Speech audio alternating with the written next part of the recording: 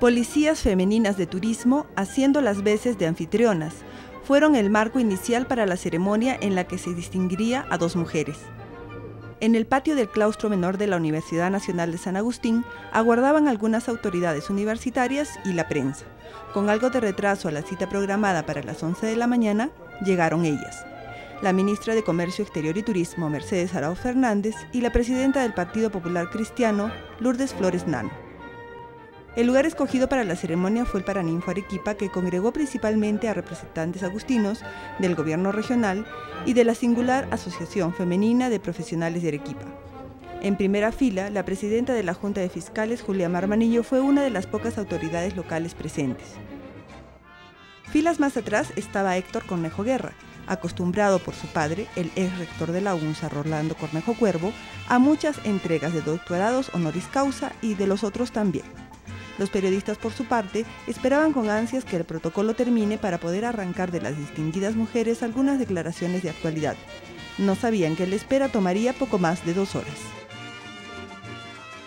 La primera en tomar la palabra fue Gaby Arce Muñoz de la Femenina Asociación de Mujeres Profesionales con casi 50 años de existencia y de las que se supo tuvieron la iniciativa de la distinción que hoy se otorgaba a dos mujeres. Para sustentar el título de honoris causa otorgado a la lideresa del PPC, el decano de la Facultad de Derecho de la UNSA, Dante Cervantes, expuso un resumen de la trayectoria de las dos veces candidata presidencial y actual rectora de la Universidad San Ignacio de Loyola. La larga trayectoria de Lourdes Flores Nano extendió el discurso, tanto que en esos momentos la ministra Arauz no pudo contener el sueño. Aunque luchó por combatirlo, las pestañadas pudieron más y Morfeo pasó raudo por los ojos de la guapa funcionaria. Sabiéndose observada, tuvo que sobreponerse al cansancio.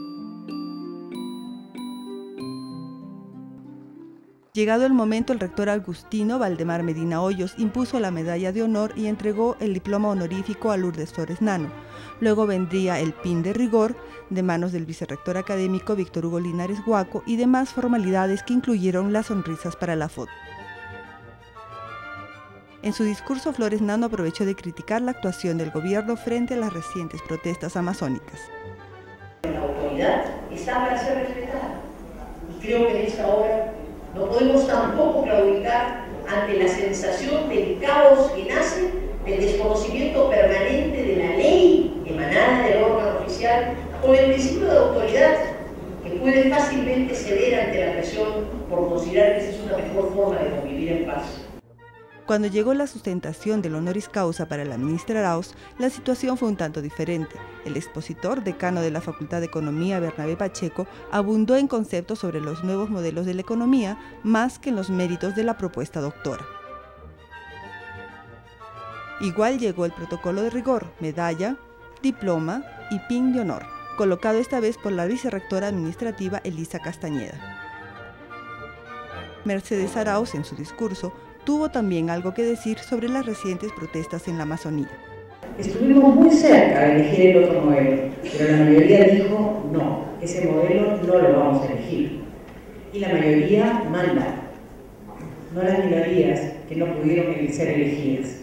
La mayoría, el pueblo, dice que tenemos que seguir en una ruta de crecimiento inclusivo cuando la ceremonia ya cumplía su segunda hora de duración, tocaba el turno del discurso del rector Agustino, quien aprovechó de soñar, pero él, con los ojos abiertos, dijo que la UNSA buscaba el camino de homologar a sus profesionales con los de Norteamérica y Europa. Cuando la ceremonia culminó, se anunció una rueda de prensa en ese mismo instante y lugar. Decanos agustinos, ansiosos por extender sus saludos a las distinguidas mujeres, demoraron la cita con la prensa.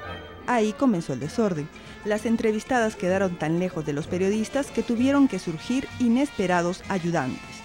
Un incomodísimo Valdemar Medina se vio repentinamente convertido en pedestal móvil de algunos micrófonos. Molesto, casi indignado, mandaba órdenes mentales para que alguien lo reemplazara en una labor que resultaba poco más que bochornosa para quien tanto hizo por ser llamado rector. Quien no se hizo problemas en auxiliar a los periodistas sujetando micrófonos fue el vicerrector académico. Todo es cuestión de modestia. En medio del descontento de los reporteros se realizaron las entrevistas. Arauz no proporcionó datos y Flores Nano ninguna declaración para titular. La ocasión había cumplido su misión meramente formal. Para otra será.